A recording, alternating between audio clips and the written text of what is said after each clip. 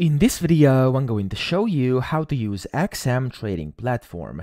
Now, it's actually very easy to use. So once you're inside your dashboard and you've signed in with your account, the first thing you can do is, of course, set up your account. So when you click on up here, you'll be able to create either real or demo accounts. And for this tutorial, I'm just going to be trading with a demo account over here. There we go.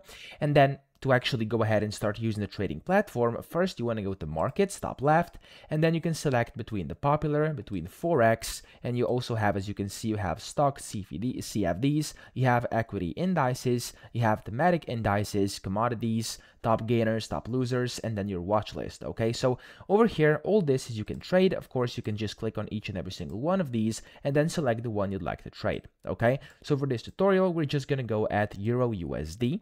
And then over here on the trade section, you'll be able to see your open positions, your pending orders, history, and then the price alerts that you can set as well. Now, here you have the explore button where you can basically kind of uh, get basically get the market's overview and see the top stories happening right now. Of course, you can read that and make your trades trades based on that if you want to. And then here you have the more section where you can then go ahead and use different tools like the news analysis. You can go ahead and see the educational videos. You can fund your wallets or your accounts, so you can deposit or withdraw. You can go ahead ahead and basically get access to the different platforms, you can get support, etc.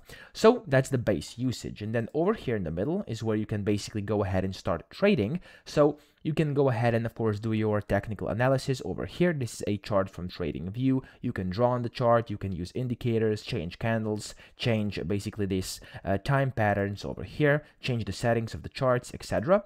And here on the right, you can then just go ahead and sell or buy in either quantity or lots and then you can also set basically limit orders or take profits and stop losses and then whenever you're ready you can just click on place order and then you'll be good to go okay so that's pretty much the basics over here. You can also go over news and analysis over here if you want to. If you want to do this, of course, you're free to do it.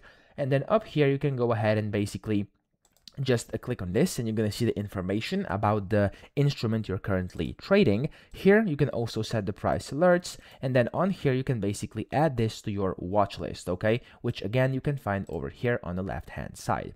Now after this, of course, up top, you also have your notifications. So in case you have any notifications, you'll be able to see them over here. And then up here, you also have your funding. So you can deposit to your wallet, withdraw from it, or you can just go ahead and uh, transfer internally or see your transaction history. Okay.